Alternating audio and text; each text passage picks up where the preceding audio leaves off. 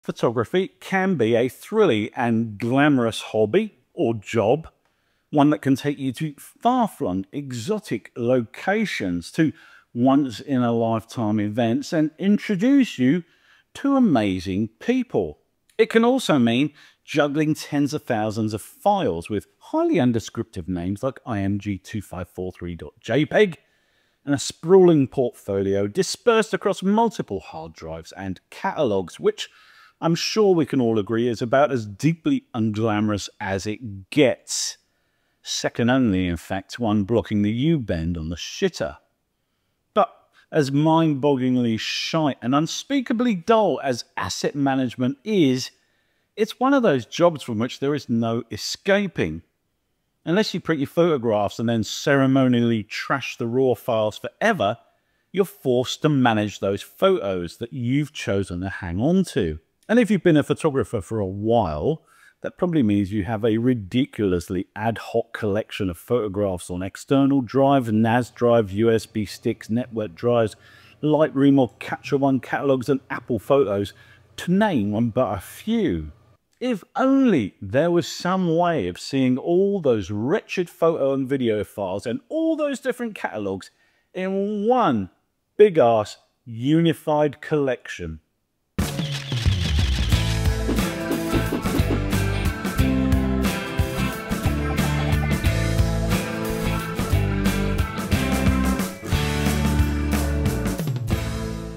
I've been a fan of Peakto for a few years now. The first time I installed it, I immediately recognized the misery that had inspired Mathieu and the team at Cyme in Paris to create this app. Its ability to index multiple third-party catalogs such as Lightroom Classic immediately lifts it above the competing asset management apps. And I have no idea why it doesn't get more love than it does.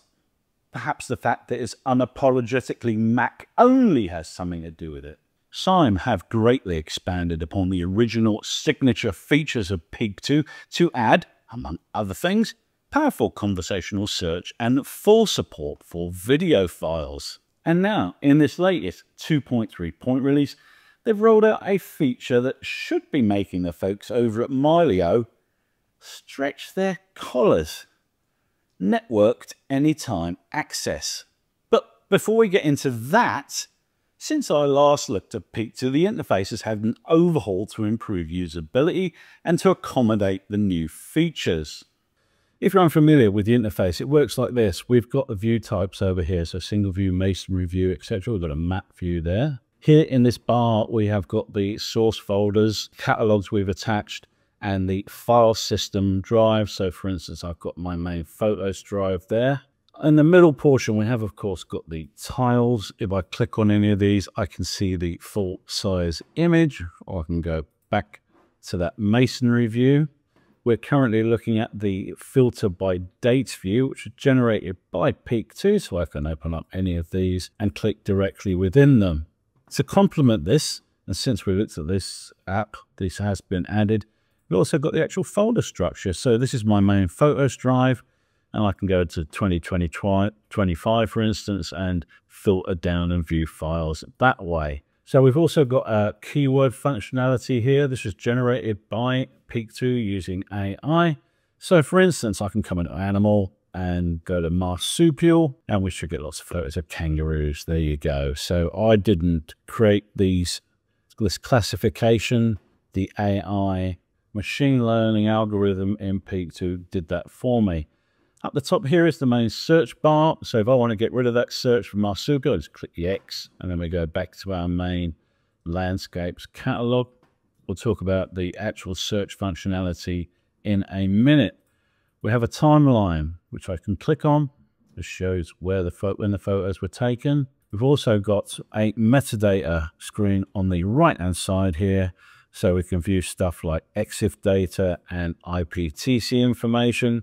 This will show stuff like keywords that you added in Lightroom if you did so. Down in the bottom left, we've got the export function. You can export directly from Peakto. down to fire up the parent app if you've indexed a catalog that was in Lightroom. Also got standard album and smart album functionality down here. So you can create clever smart albums using keywords or AI categories, for instance. It's a great looking app, isn't it? But what makes Peakto so useful is unifying all your photographs in one central location and then leveraging that single centralized collection. Allow me to demonstrate the ability to bring together photographs from myriad locations is the true power of Peakto, and allow me to demonstrate that. I'm the official show photographer for one of the local little rural shows, the Berry Show. And over the years, I've shot many photographs and we've also got photographs taken by other photographers that have been donated to us and they're all in myriad locations. So for instance, I have got some photographs in my main Adobe Lightroom catalog. I've got some which are on a network drive on my wife's MacBook. I've got some that are in Apple Photos. And what I've been able to do is create this one album down the bottom here you can see with 1,819 photographs in it, which is all of those brought together. So I just made a new album and I dragged in the photos to this album wherever they happen to exist, whether on a network drive or in Apple Photos or in my Adobe Lightroom Classic directory. So I've got all of the images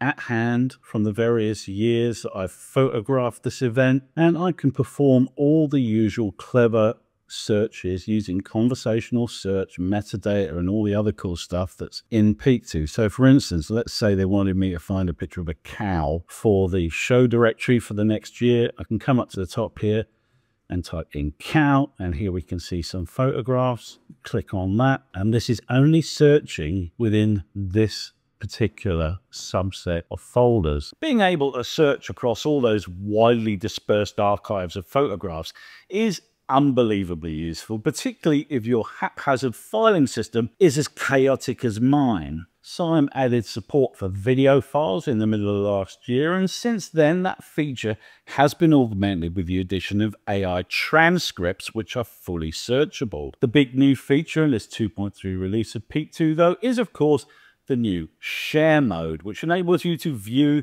your Peakto catalog either on the local network or on the internet. The new share functionality is tucked away at the top right here. All I have to do is click on this share button. And as you can see, we have two options here. We've got a local and a public server option. Local obviously means only people on my local network using computers, iPads or whatever will be able to view these files. Public obviously means the wider internet. So if I was working remotely, for instance, I could access all of my photographs. Let's click on the local version. So just here on my network, and I click the start button to spin up the server and I can now click on open in web browser and it'll fill now populate the screen with my Peakto library. So I have access to everything that's in Peakto through this network connection. We can do the same conversational searches that we do in the main app. So for instance, people on a beach, and there are the photos. I can download them from here if I want or share them. I've also got all the collections over on the left here, the sources of those files. So these are the Finder sources. This is my main Lightroom catalog. I've also got my Apple Photos library. You will also notice that the collection that I made manually, the Berry Show Photography, is here. So I could click on that, for instance. And then I can share this directory with other people on my network. So if I need to give access to these files to anyone at the show for some publication they're producing or something like that, all I have to do is give them access this way. Can, of course, also filter by color, star rating, and file type and change the sort order if I want. The new share mode has been well thought out and well implemented.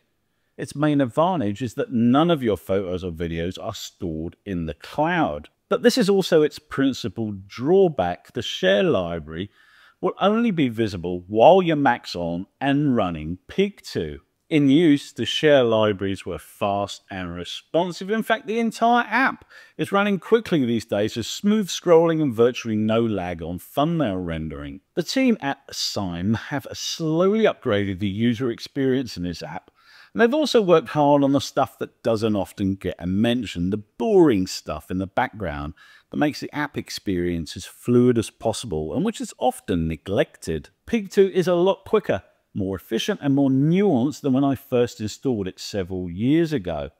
There are all sorts of deft touches, such as the way photos subtly fade in and out as you click through them. And this makes browsing a pleasing and frictionless experience. There are parts of the app that I don't think are very useful and which I never use. The AI tab, for instance, is just a load of pointless graphics that have no value to me as a photographer whatsoever. I also never use the editing workspaces because I just don't see the point of them. They're supposed to enable you to track the changes you've made to photo or video files within the apps and to dip in and out of edits easily, amongst other features, but I just don't care about that. Just want to open the file in my raw editor of choice and be done with it. But I do make good use of most of the other features in Peakto, particularly the AI search, which enables me to speedily find photographs from the vaguest of descriptions in a catalogue of over a quarter of a million images. The big new feature in this release is one that's been sat on the development roadmap for a while, and it's great to see it live and working so well. One of Peakto's biggest competitors is Mylio, an asset sharing service for photographers that's marketed as a cloud independent media library. Mylio is a perfectly good product, but it's a basic service and it currently costs 200 US dollars a year. Meanwhile, you can buy a subscriptionless lifetime license for Peakto for 189 bucks or subscribe annually for $89. And while we are comparing those two apps, Mylio does not have conversational search and doesn't support third-party catalogs for apps like Lightroom or Capture One, like Peakto does. The ability to combine photo and video libraries is a welcome addition to the app. If you're a photographer that also shoots video, perhaps if you're a drone pilot or a content creator, or you just want to manage your family photographs and videos, then it's a brilliant way of having it all in one central location. Cyme have got a few promising features at the top of the roadmap, the most requested of which is full file management capabilities, so you can physically move assets around while still tracking them. Peakto is one of those apps that's out there on its own, forging ahead into new territory, and it's great to see. If you're suffering from asset paralysis and you're a Mac user, it comes highly recommended. And that will do us for this look at Peakto 2.3 from Cyme. How do you manage your humongous collection of photographs and videos? Hmm? Let me know in the comments section below. If you got value from this content, then please remember to give it a like and consider subscribing for more photo, video, and drone related content from me. Point you in the direction of my Substack as well, details which you will find in the description below. Until the next time, guys, ta ta.